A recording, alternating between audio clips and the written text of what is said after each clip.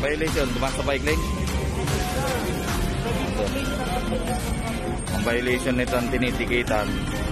Driving in a place not intended for traffic. So, ang fine po niyan is 1,078 pesos. So, tutubisin nila after ng pag sila ng TOP, yung kulay orange, magagamit nila ng 72 hours. Then, doon nila matutubos sa LTO Central Office. Is Avenue, Quezon City. Ah, itikita na siya.